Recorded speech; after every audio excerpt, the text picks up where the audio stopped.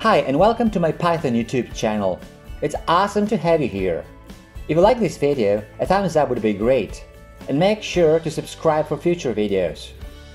I also have a blog at prosperocoder.com with lots of cool stuff, so feel free to check it out.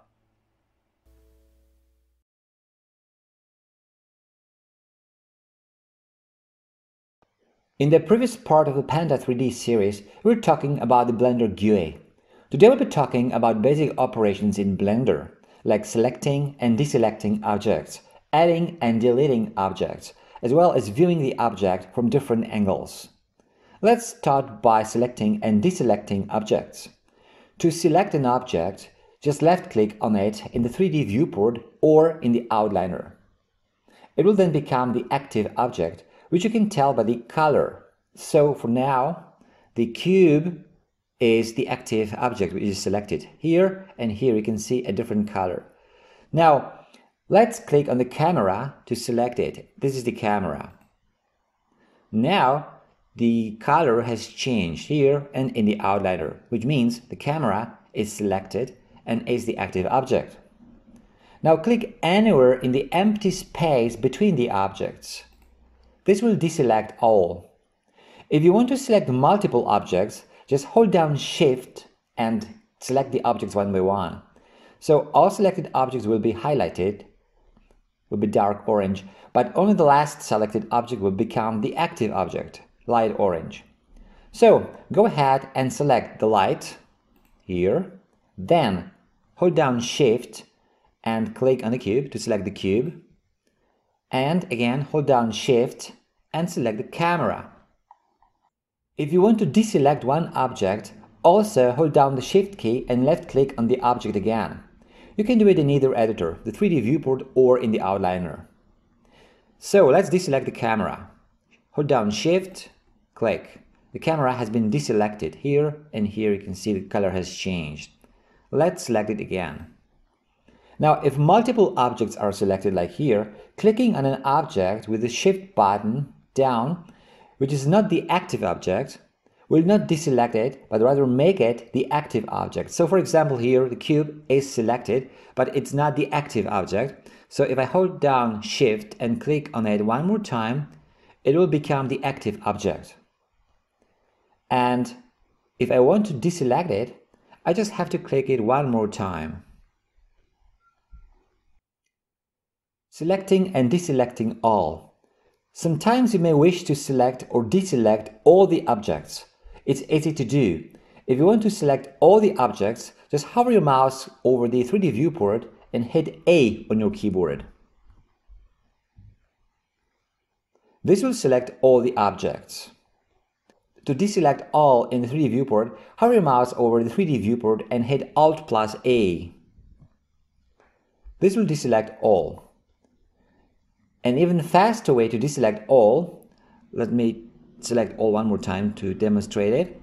So an even faster way to deselect all is to click anywhere outside the objects in the viewport as you already saw. There are other ways of selecting objects like, for example, the circle select tool or the box select tool, but we'll be talking about them when we need them.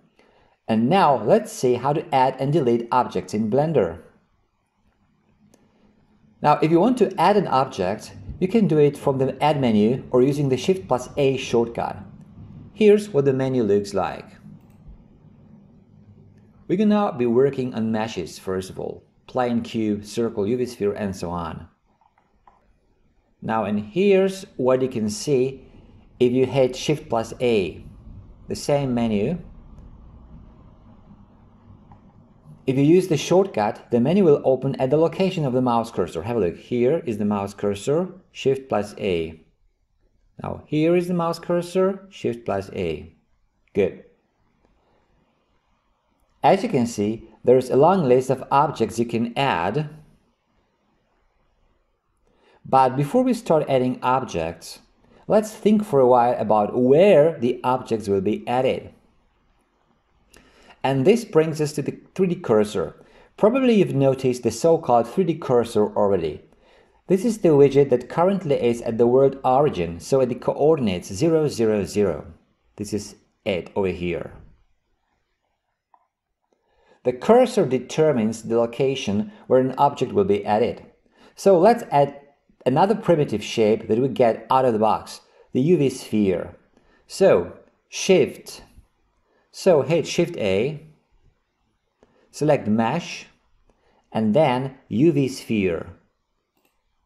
The new shape has been added at the location of the 3D cursor, but you can only see its outline. You can see the outline because when we add an object, it becomes the active object, so it differs in color. Now the sphere is inside the cube. Let's delete the cube to see the sphere. To delete an object, you must first select it, so let's select the cube. And now hit X and then delete. So now you can see the UV sphere. Now, what if you want to add a shape at a different location? Well, you just have to place the 3D cursor at that location first. So let's move the cursor near the top right corner somewhere here. And we can do it by holding down the shift key and right clicking at the new location. So shift down, right click. Good. We can also do it by selecting cursor in the toolbar here and then left clicking at the new location like here. In the latter case, don't forget to select this one over here, select box, after you position the 3D cursor in order to be able to select objects. If you now create a new object, it will be added at the new location. Let's add a cone. Shift A, Mesh, Cone. Now, deleting objects. You already know how to delete a single object. Deleting multiple objects at once is pretty simple. You just have to select the objects you want to delete first and then hit X and delete. So let's add some shapes first and then remove some of them. You can hold down the Shift key and right click somewhere in the 3D viewport to move the 3D cursor to that location and then add a shape. So let's add a torus here.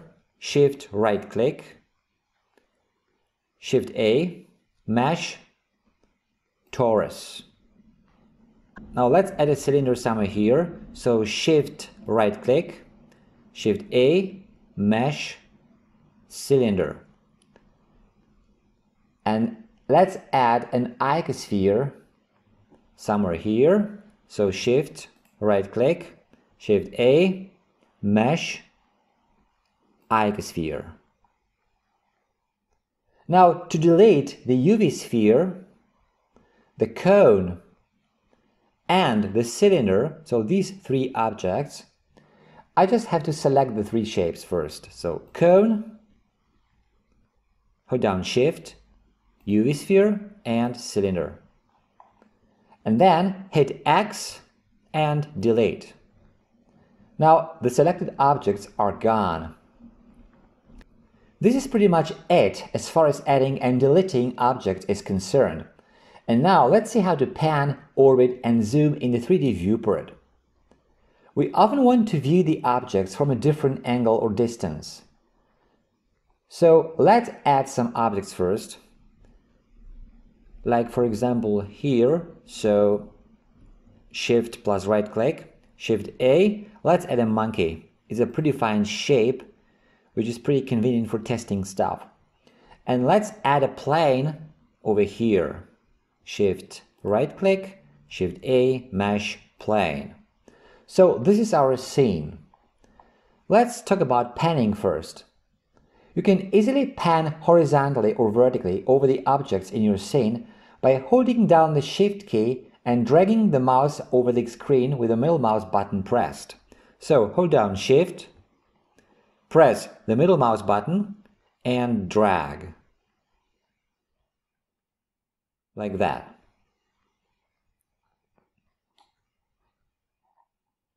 Orbiting. Orbiting is easy too. You orbit around the objects in the scene to view them from different angles. To do that, just hold down the middle mouse button and drag the mouse over the screen. So just the middle mouse button pressed.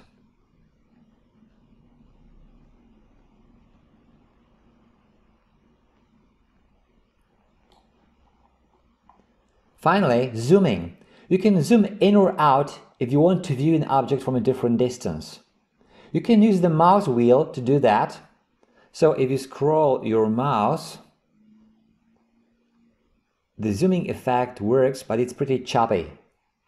If you want it to be smoother and more precise, you can hold down the control key and drag the mouse with the middle mouse button pressed in one direction or the other. So let's press control and now let's press the middle mouse button and drag.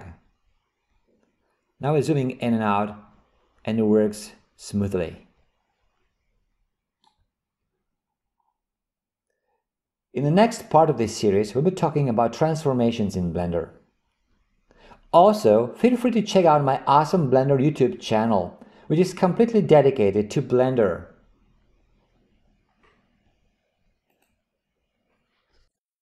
Okay, that's it for this video. If you like it, a thumbs up would be great. Also, make sure to subscribe for future videos. If you want to leave a comment or ask a question, you're welcome to do so. Thanks for watching.